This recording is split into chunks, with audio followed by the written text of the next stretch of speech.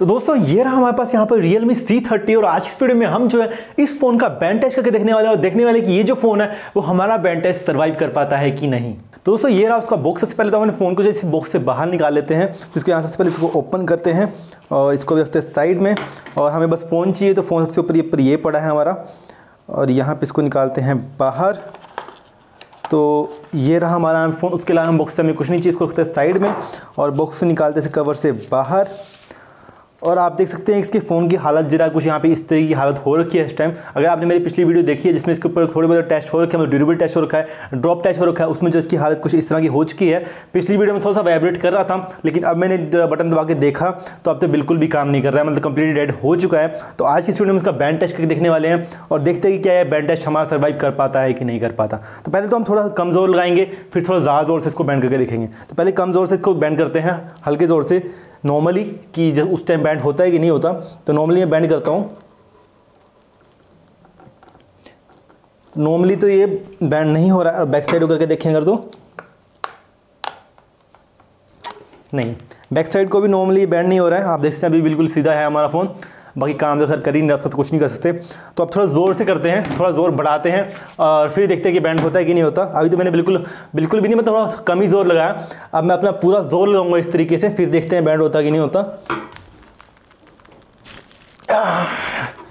अरे यार, पूरा ज़ोर लगाने पे भी बैंड नहीं हो रहा। बिल्ड क्वालिटी मतलब काफ़ी अच्छी है इस फ़ोन की, क्योंकि देखिए, बिल्कुल भी हल्का सा, थोड़ा सा वैसे हल्का सा बैंड हुआ है, पर इतना कुछ खास फ़र्क नहीं पड़ा है। मेरे हिसाब से तो ना के बराबर बैंड है कि इतना ज़ोर, जितना ज़ोर मैंने लगाया, उसके हिसाब से तो उसको टूट जाना चाहिए था। पर खैर, बच गया है मतलब बिल्ड क्वालिटी काफ़ी अच्छी है इसकी। अब थोड़ा बैक साइड को भी करके देखते हैं कि बैक साइड को बैंड होता है कि नहीं। तो ये बैक साइड को भी बैंड नहीं हो रहा है। काफ़ी ज़्यादा ज़ोर लगाने के बाद भी, हल्का सा देखिए यहाँ पे इस तरीके से हल्का सा यहाँ बैंड हो रहा है। बस हल्का सा बैंड हो गया है, बाकी इसका कवर उतर गया, वो तो खैर पहले भी उतर गया था। जब इसका ड्रॉप टच कर रहा था, उस टाइम निकल गया था, उसका कुछ नहीं कर सकते। वो तो खैर उसी वजह से निकला होगा। बाकी ये बैंड इतना ईजिली नहीं होने वाला, क्योंकि बिल्ड क्वालिटी मेरे ख्याल से काफ़ी अच्छी है, इस वजह से काफ़ी मुश्किल से बैंड हो गए और अभी बिल्कुल सीधा है, हल्का सा ही बैंड नहीं हुआ। तो अब थोड़ा सा अलग तरीके से बैंड करते हैं, क्योंकि इस नॉर्मली तो ये बैंड नहीं हो रहा है। बिल्ड क्वालिटी काफ़ी अच्छी है कि आप नॉर्मली इसको बैंड नहीं कर सकते। लेकिन अब जो हमारा नॉर्मल तरीका है, जिससे हम बैंड करते हैं सारे फ़ोन्स को, उस तरीके से बैंड करके देखते हैं। जैसे मैं यहाँ पर क्या करूँगा? अपना हाथ यहाँ पे ले आऊँगा और ऊपर से अपना पूरा वज़न इसके ऊपर यहाँ पे दे दूँगा और फिर तो पक्का बैंड हो जाएगा। फिर देखते हैं बैंड होता है कि नहीं होता फिर भी। तो अब मैं पूरा ज़ोर लगाता हूँ इसके ऊपर।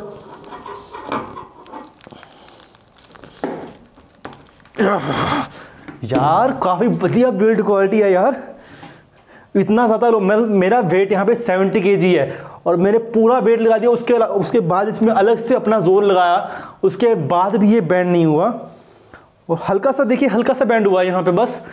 लेकिन कुछ खास फ़र्क नहीं पड़ा है। मतलब फ़ोन की बिल्ड वॉल सच में काफ़ी अच्छी है। इतना ईजीली आपका फ़ोन जो है बैंड नहीं होने वाला। बैक साइड को क्या देखते एक बार। बैक साइड को भी सेम तरीके से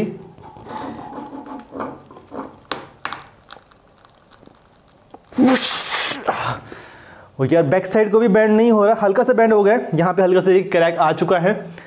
लेकिन वैसे फ़ोन के मुकाबले जितना मैंने ज़ोर लगाया उस हिसाब से तो मेरे हिसाब से बिल्कुल भी बैंड नहीं हुआ है। क्योंकि इसकी बिल्ड क्वालिटी यार काफ़ी अच्छी है। क्योंकि इतना ज़ोर लगाने के बाद भी सारे फ़ोन मेरे आज से इतने फ़ोन अभी तक तो मैंने बैंड करे हैं। वो सारे सारे इतने ज़ोर के बाद तो लगभग यहाँ से जो है क्रैक हो जाते हैं। टूट ही जाते हैं। लेकिन ये फ़ोन अभी तक बिल्कुल भी टूटा नहीं है। हल्का सा बैंड हुआ है। खैर, वो तो इतना ज़ोर के बाद तो कोई भी फ़ोन होता तो बैंड होना ही होना था। मतलब वो तो टूट जाता और ये तो सिर्फ़ बैंड ही हुआ। था वो भी हल्का सा ही बैंड हुआ है। तो आप क्या करते हैं? नीचे से करके देखते हैं? निचली साइड से बैंड होता है कि नहीं होता? अभी तो ऊपर वाइड साइड देख लेते हैं। तो हम निचली साइड से भी ऐसे करके देख लेते हैं। यहाँ पर सारे में ग्लास ग्लास हो गया है। बस चुभ ना जाया। मेरे दो तीन बार चुभ गया है। पिछले फ़ोन हो गए मैं। नहीं यार निचले से बैंड नहीं हो रहा। तो इस साइड को भी देख लेते हैं एक बार। नहीं यार, ये फ़ोन तो बिल्कुल भी बैंड नहीं हो रहा। कुछ भी जो कर लो। मतलब कि इस फ़ोन की जो बिल्ड क्वालिटी सच में काफ़ी अच्छी है। इजीली आप इस फ़ोन को कभी भी बैंड नहीं कर पाएँगे, क्योंकि आपके सामने देखिए मैंने कितना ज़ोर लगाया। उसके बाद भी इसके ऊपर बिल्कुल ना के बराबर ही कोई फ़र्क पड़ा है। हल्का फुल्का ये बैंड हो चुका है तो आप नॉर्मली दबाओगे इसको तो ये सही हो जाएगा।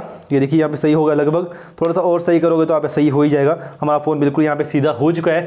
अब बाकी वीडियो देख सकते हैं मैंने जब मैंने बैंड टच करा है, उनमें फ़ोनों का क्या हाल हुआ है जब मैंने इस तरह से उनको बैंड करा है। लेकिन इस फ़ोन को देखिए उसके मुकाबले तो बहुत बढ़िया क्वालिटी है इस फ़ोन की मतलब बहुत बढ़िया बिल्ड क्वालिटी है इस फ़ोन की, जो ये लगभग मतलब ना के बराबर ही बैंड हुआ है। तो मेरे हिसाब से तो इस फ़ोन ने जो हमारे यहाँ बैंड टेस्ट तो सर्वाइव कर ही लिया है। बाकी टेस्टों के हिसाब से तो मैं कुछ नहीं कह सकता, वो आप जाके देख सकते हैं, लेकिन बैंड टेस्ट तो इसने हंड्रेड परसेंट सर्वाइव कर लिया है। बाकी इसका लास्ट टेस्ट था आप कोई नया फ़ोन मंगाऊँगा, उसके ऊपर भी टेस्ट करूँगा। आप चाहें तो नीचे कमेंट मुझे बता सकते हैं कि मुझे कौन सा फ़ोन ऑर्डर करना चाहिए। तो मैं वो फ़ोन मंगवा के उसके ऊपर जो भी मैं टेस्ट करता हूँ, सारे के सारे टेस्ट करूँगा, आप कोई टेस्ट करेंगे कहेंगे तो वो टेस्ट भी ज़रूर करूँगा।